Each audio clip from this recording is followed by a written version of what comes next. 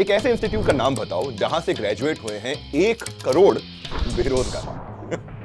नहीं पता। चलो हिंट देता हूँ। यहाँ से अब तक 1.34 करोड़ स्टूडेंट ग्रेजुएट हुए हैं और जॉब लगी है केवल 29 लाख की। ये इंस्टीट्यूट है तो प्राइवेट लेकिन अगर अटेंडेंस पूरी हो और एग्ज़ाम पास कर लो तो फ़ीस सरकार देती है। सिविल इंजीनियरिंग जैसे बेरोजगारी बढ़ाने वाले कोर्सेज नहीं पढ़ाए जाते, जिनको पढ़ के आपको यूट्यूबर बनना पड़े। बल्कि केवल वही कोर्सेज पढ़ाए जाते हैं जिनसे जॉब लगे। अब तो पहचान गए हो। चलो लास्ट हिंट भाई। बजट 2023 में इसका 4.0 वर्जन भी लॉन्च किया गया।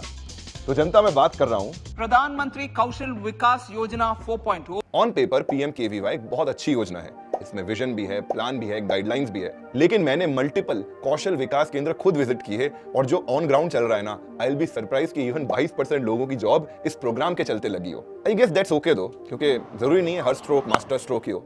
लेकिन फुल मार्क्स फॉर एफर्ट्स चलिए, आप कमेंट में बताइए अपनी डिग्री का नाम और क्या आपकी डिग्री ने आपके करियर में मदद करी।